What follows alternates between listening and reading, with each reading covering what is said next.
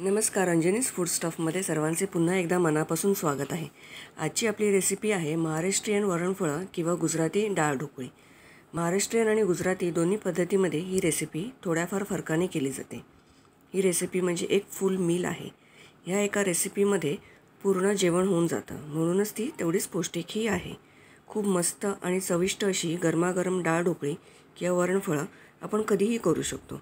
कारण ही रेसिपी तेवढीच सोपीही आहे. इथे सर्वात आधी आपल्याला डाळ ढोकळीसाठी किंवा वरणफळं करण्यासाठी आपल्याला पीठ मळून घ्यायचं आहे.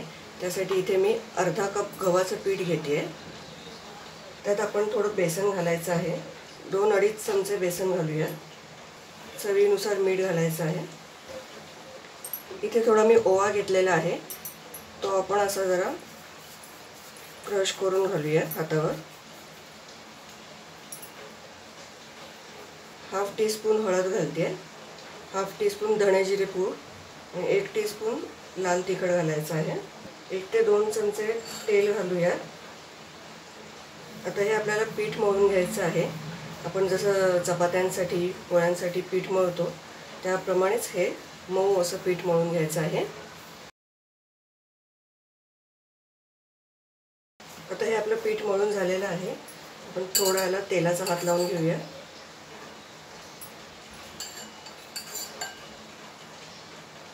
या पिठात आपण ओवा घातला त्यासोबत थोडेसे सफेद तीळ घातले तरीही चालू शकतं. आता हे पीठ आपण दहा ते बारा मिनटं झाकून ठेवूया आता हे पीठ जे आपण मळून ठेवलेलं होतं ते जरा एकदा सारखं करून घेऊया. चपातीसाठी गोळा घेतो आपण त्यापेक्षा थोडा मोठा घेऊन आपण ह्याच्या लाट्या करायच्या आहेत.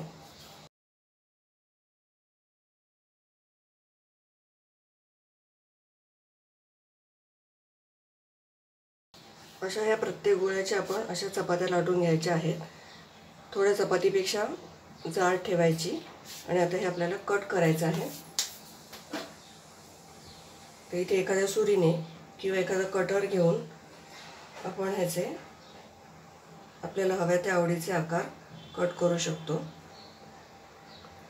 चौकोनी किंवा शंकरपाळ्यांसारखेही शेप आपण करू शकतो.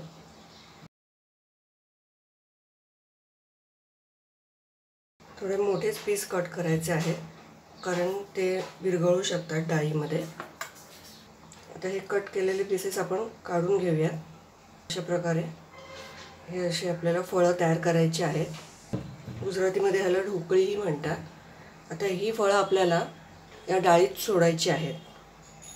अशीच सेम पद्धत वापरून आपण बाकीचीही फळं तयार करून घेऊयात.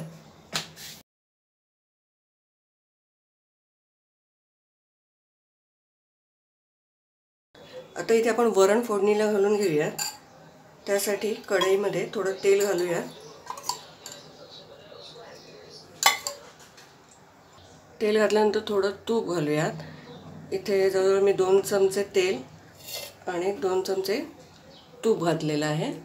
तुम्हाला हवं तर फक्त तुम्ही तेल किंवा फक्त तूप असंही वापरू शकता.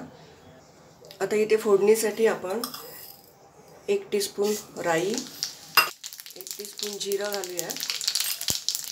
ती थोडी कढीपत्त्याची पानं घेतली आहेत. थोडे हिरव्या मिरचीचे तुकडे आहेत. एक दोन सुक्या लाल मिरच्या घालूया. हिंग घालायचं आहे थोडं. तर इथे फोडणी छान झाली की त्यात आपण थोडे शेंगदाणे घालायचे आहेत. हे कच्चेच शेंगदाणे आहेत. ते आता हे तेलात चांगले परतून घेऊयात.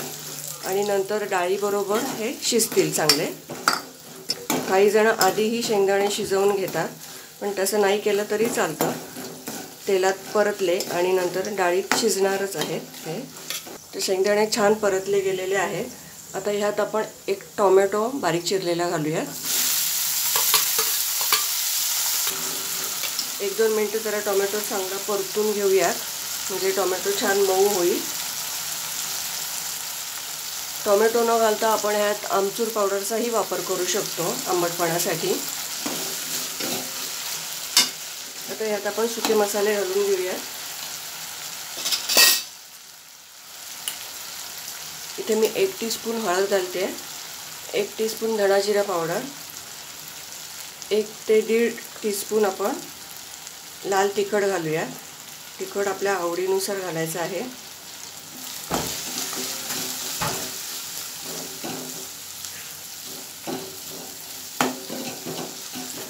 मसाले छान परतून घेऊया. इथे आपण काही भाज्यांचाही वापर करू शकतो. इथे आपण शेंगदाणे टोमॅटो हे वापरलेलं आहे.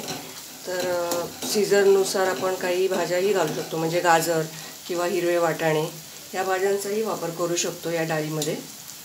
आता इथे ही तूर डाळ मी शिजवून घेतलेली होती. ते अर्धा कप तूर डाळ कुकरला लावून शिजवून घेतलेली आहे आणि ही छान घोटून घेतलेली आहे.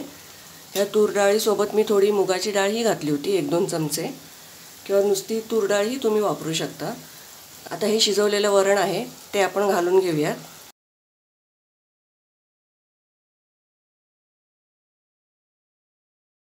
इथे आता आपण थोडं पाणी घालून ॲडजस्ट करून घेऊयात. हे वरण आधी सुरुवातीला आपल्याला खूप पातळच ठेवायचं आहे. कारण जी आपण पीठ मळलेलं आहे त्याची फळं जी करणार आहोत किंवा ढोकळी ते घातल्यानंतर हे वरण खूप घट्ट होतं. त्यामुळे आधी पातळच ठेवायचं आहे. आणखीन पाणी घालायला लागेल आपल्याला.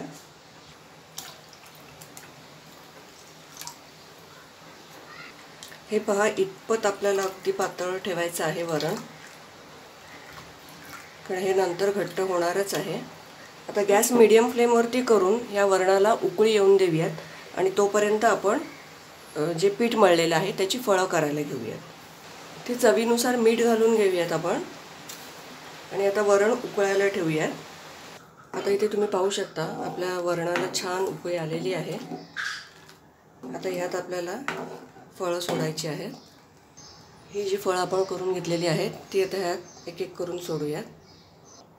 ही फळं सोडल्यानंतर आपल्याला दहा ते पंधरा मिनटं हे वरण शिजून द्यायचं आहे. म्हणजे ही ढोकळी किंवा फळं छान शिजली जातील.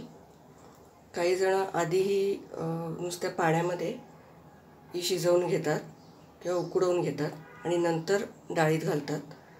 पण असंही केलं तरी चालतं. आता सात आठ मिनटानंतर पुन्हा एकदा आपण जरा ढवळून बघूयात. डायरेक्ट चमचा न घालता एखाद्या सुरीने किंवा काट्याने हलवून पाहायचं. म्हणजे ही फळं जी आहेत ती तुटून तुटणार नाहीत हलक्या हाताने जरा ढवळून घेऊयात. ही फळं शिजायला आलेली आहेत. हे पाहू शकता तुम्ही कशी फुगून वर आलेली आहेत ती. आणि डाळ ही चांगली घट्ट होत आहे. जर जास्ती घट्ट वाटत असेल तुम्हाला डाळ किंवा ही वरण वरण तर थोडं पाणी घालून आपण ॲडजस्ट करू शकतो. आता इथे आपण जरा आंबट गोड चवीसाठी हे इथे चिंचेचं पाणी आहे एक चमचा. ते घालूयात आपण.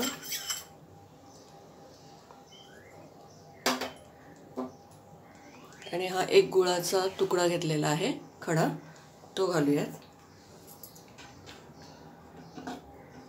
चिंच आणि गुळामुळे छान चव आहे आता आणखीन पाच सात मिनटं आपण डाळ शिजत ठेवूयात.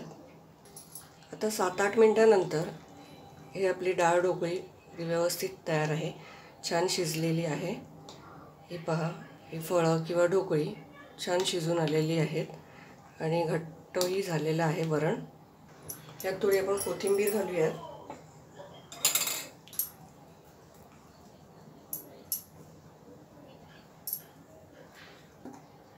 मस्त अशी चवदार अशी आपली ही डाळ ढोकळी किंवा वरणफळं रेडी आहेत.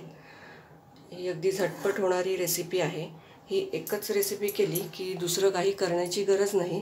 हे अगदी पूर्ण जेवण होऊन जातं ह्या एका रेसिपीमध्ये तर अशा प्रकारे ही आपली डाळ ढोकळी तयार आहे.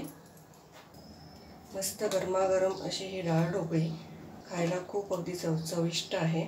सर्वांना आवडेल अशी ही डिश आहे. पावसाळ्यात किंवा थंडीत ही गरमागरम डिश करून खायला खूप छान वाटतं. आणि पौष्टिकही आहे ही रेसिपी ती तुम्ही नक्की करून पहा. आणि कशी वाटली ते मला जरूर कळवा कमेंट बॉक्समध्ये आजची ही रेसिपी तुम्हाला आवडली असेल तर प्लीज शेअर लाईक आणि कमेंट करा. आणि चॅनेल सबस्क्राईब करायला विसरू नका. पुन्हा भेटूया नव्या रेसिपीसह धन्यवाद.